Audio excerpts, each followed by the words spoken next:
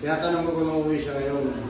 Bawas. Eh. 15. Dito sa mga Yung call, sige, 500 lang dyan.